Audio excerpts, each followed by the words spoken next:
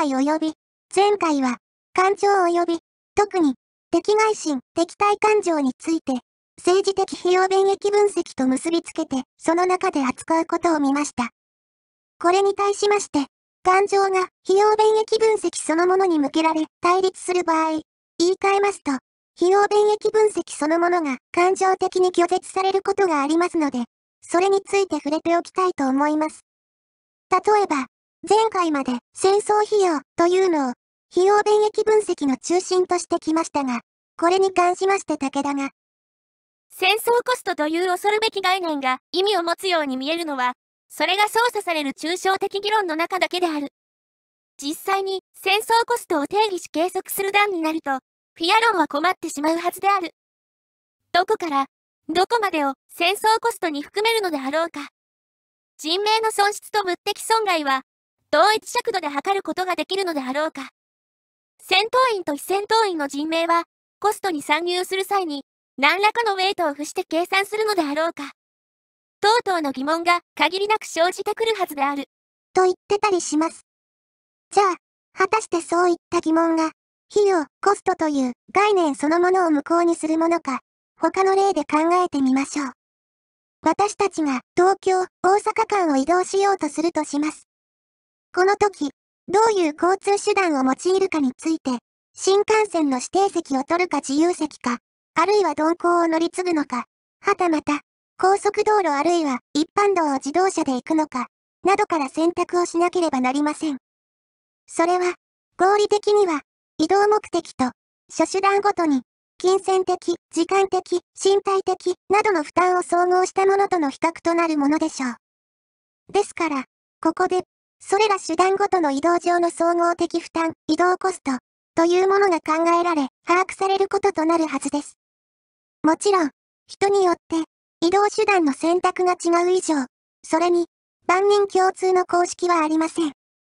しかし、だからといって、この移動コストという概念は、それが操作される抽象的議論の中で意味を持つように見えるだけである。実際に移動コストを定義し、計測する段になると困ってしまうはずである。という話になるものでもありません。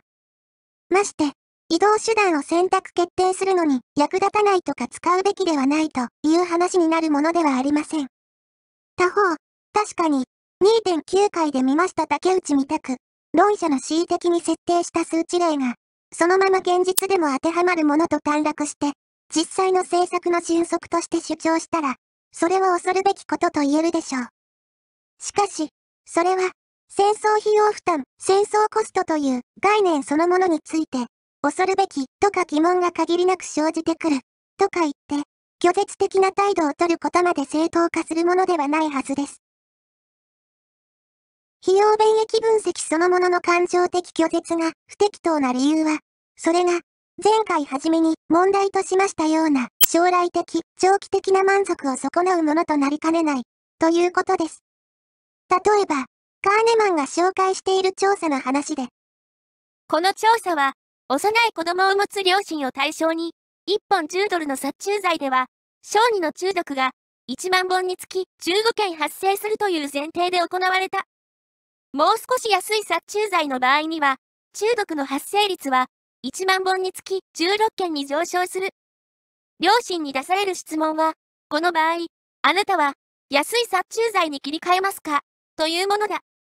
回答した両親の3分の2以上がたとえどれほど安かろうと、危険なものに切り替えるつもりはないと答えた。たとえ、リスクが、ほんのわずか増えるだけだとしても、それを、お金と引き換えにするのは嫌だという両親の感情は、ほとんどの人が理解するだろうし、共感もするだろう。しかし、この姿勢が、愛する人の安全向上には必ずしも貢献せず、むしろ損なう可能性もあることは知っておくべきである。両親がどれほど子供を愛しているとしても、子供を守るために使える時間もお金も有限である。値段の安い殺虫剤を買うことにすれば、その分のお金を子供を取り巻く危険を減らすために使うことができる。例えば、安全なチャイルドシートを買うとか、コンセントカバーを取り付ける、といった具合に、あらゆるリスクの増加は絶対に認めないというトレードオフのタブー視は、賢い方法とは言えない。としている具合ですね。まあ、殺虫剤の選択程度の日常生活の話であれば、情報をいちいち収集、精査するのも大変ですし、損害も基本的に気にするほどではないでしょうから、分析を拒絶する感情に従って選択しても大した問題ではないでしょう。しかし、国政、政策形成にまで、そういう態度が持ち込まれますと、問題となってきます。ピンカーが、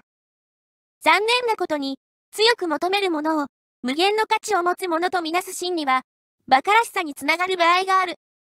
有害な廃棄物が発見された1978年のラブタナル事件の後に、有害な廃棄物処分地を、すべて、完全に浄化することを要求するスーパーファンド法、包括的環境対処保障責任法が成立した。しかし、一つの処理場で最後に残った10%の廃棄物を浄化するには、費用が何百万ドルもかかることが分かった。他の処理場を浄化したり、他の健康上のリスクを減らしたりするのに使えたはずのお金である。したがって、豊富にあった基金は、対象になった処理場のほんの一部の浄化さえ完了しないまま破綻してしまった。と紹介しているような次第となりかねません。余談ですけど、憲法判例100選に載っている最高裁判例の一節で、生命は尊貴である。一人の生命は全地球よりも重い。というのがあるんですが、これ、ピンカーの言う馬鹿らしさに通じるところがあるんじゃないかなという感じがします。極端な話、邪神なり魔王なり、宇宙からの侵略者なりが現れて、地球人を5人ほど生贄として差し出せ、さもなくば、地球を破壊した上で全人類を殺しはしないが家畜化する、とか言ってきても、一人の命は、全地球より、重い、みんなで家畜になろう、とか言うつもりなんですかね。間は9大。あと、政策形成における費用便益分析を感情的に排除したら、何を選択すべきか判定できなくなる、というのもありそうな気がします。個人であれば、分析を感情的に拒絶した後、そのまま、自分の感情に従っての選択ができますけど、政策形成とかで、複数の個人が関わってきますと、感情がどういう方向に働くかは個人間で異なり得るわけです。じゃあ、それをどう調整するのかという話ですね。例えば、カーネマンは、先ほどの少し前で、脳は、単に象徴的な危険に対しても、敏感に反応する。危険に対する高い感受性は、自分が強く反対する意見が表明された時にも現れる。例えば、あなたが安楽死に、反対の場合、私は安楽死を認めるべきだと思うといった意見に対しては、ものの4分の1秒も経たないうちに危険を察知する。という話もしておりますけど、これは、反対側においても同様に作用するものでしょう。すなわち、安楽死を支持する人の場合、安楽死を全面禁止するべきだと思うといった意見に対して、4分の1秒以内に、紙括弧付きの危険を察知するだろうということです。ここで、政策を合理的に形成しようとするなら、安楽死を認めることと認めないことには、それぞれ、どういう利点と問題があるのか、それを踏まえて、どういう条件で認めれば期待される利益が最大になるのか、という分析をするわけです。が、それが感情的に拒絶されたら、あとは、キノコタケノコ戦争みたいな不毛な話にしかならなさそうです。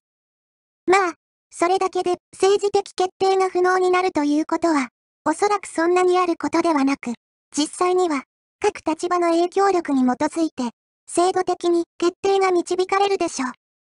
また、費用便益が、最終的には感情に帰着する以上、政治、政策に、客観的、普遍妥当的な正解なんてものはないわけですから、どこかで議論が無意味になり、打ち切られるということ自体は、そうならざるを得ません。厄介なのは、その決定の場における影響力、特に世論からの支持を調達するに際しては、知性的な比較分析は排除して、感情的に、これは無限の価値を持つ、みたいな訴えをするのが効果的なんじゃないかということです。もう少し色々言うこともできますけど、そうすると、孫子、戦争論から離れすぎてしまいますので、ここらで放り投げて、今回は終わります。